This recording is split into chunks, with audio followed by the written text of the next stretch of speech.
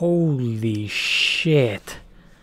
Dude, you want to talk about people who get better and better and better? Demetrious Johnson. just, uh, I really wanted to see this fight. Just how good is, is DJ? I, everybody knows Henry, how good he is. But just how good is he against DJ? And just how far is DJ uh, for the division? Is he like a little bit far ahead of the division or a lot? Uh, whew, uh I'm still like in shock. But I, one thing I did like is in the first round, of course, first round, Henry took DJ down. When's the last time we ever saw DJ down and on his back? Uh, Henry took him down in a slick, slick way.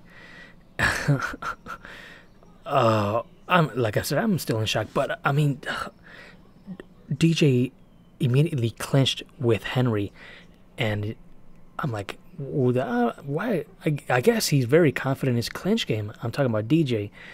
Holy shit! I mean, we rarely even see the clinch game being used the way DJ used it in MMA, especially against somebody as good as Henry in the clinch. God damn. Uh, dude, oof. what a killer. DJ is turning into a killer.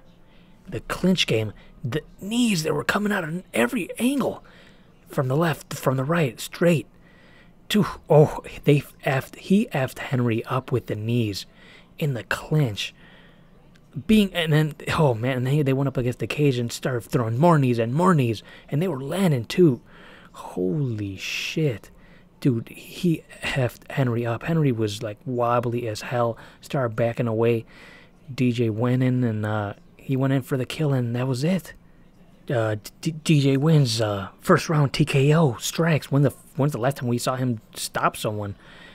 Oh man, that was a crazy performance. Crazy performance by DJ, and then fucking of course Joe Rogan. ah, he, every he goes, "There's the best fighter." He's he lives. This is what he said. I even wrote it on Twitter. He said, "There's the best pound for pound fighter ever." And Demetrious Johnson, dude, Joe fucking Rogan always says always says something like that. And I'm like, uh, Joe, do you know who's fighting next? It's Jon. Remember?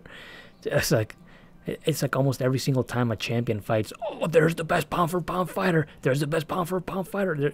Joe Rogan he he overreacts as opposed to fucking Mike Goldberg who doesn't over who who fucking just reads off the line.